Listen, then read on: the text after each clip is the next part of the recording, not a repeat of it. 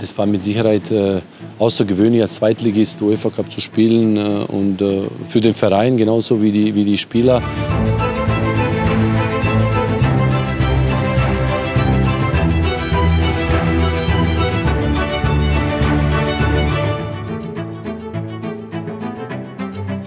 Das Jahr 2001 ist ein ganz besonderes in der Geschichte unseres Vereins. Aufstieg in die zweite Liga, DFB-Pokalfinale gegen Schalke und dadurch die Qualifikation für den UEFA-Pokal. Sreto Ristic war damals einer der wichtigen Sommerneuzugänge für die neuen Herausforderungen.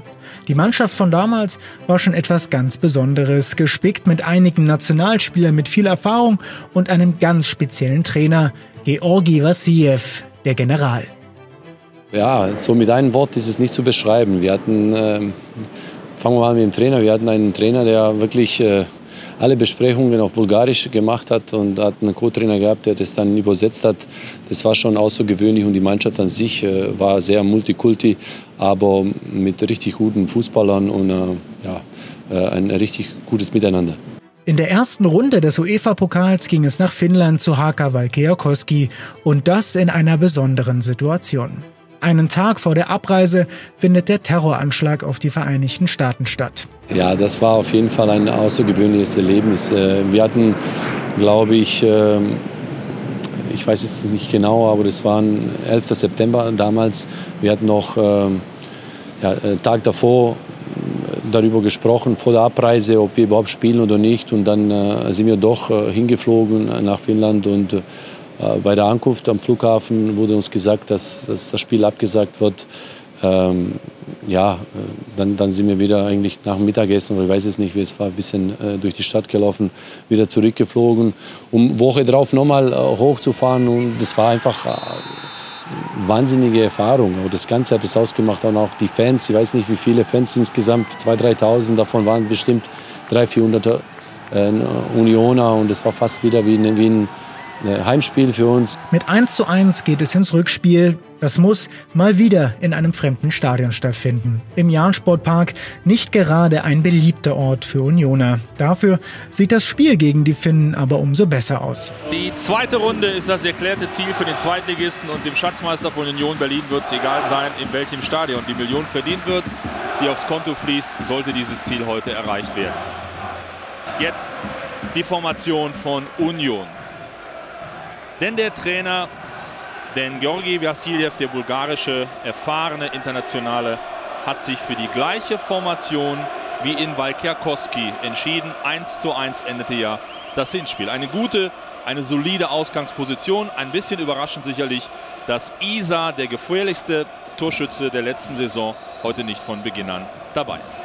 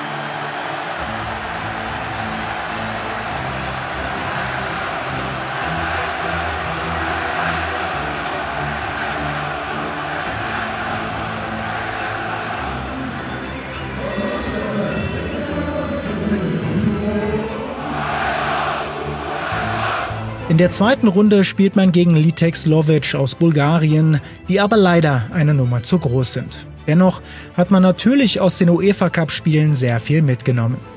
Ja, ich glaube, dass uns schon was gebracht hat. Äh, wir haben, wie gesagt, äh, schon im Laufe des Jahres dann ordentlich Fußball gespielt, waren relativ lang, glaube ich, auch oben dabei, haben die Großen auch äh, ärgern können, ähm, haben auch am letzten Spieltag gegen Mainz gewonnen.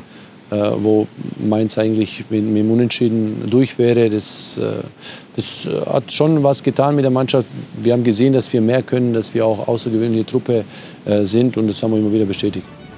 Der erste FC Union Berlin auf internationaler Bühne ist immer eine ganz besondere Geschichte und ist auch oft mit weltpolitischen Dingen verknüpft. Sei es der Prager Frühling 1968, der 11. September 2001 oder die Corona-Pandemie 2021. Dennoch haben der Verein und seine Menschen immer von den Spielen in Europa profitiert und ganz viel Erfahrungen mitgenommen.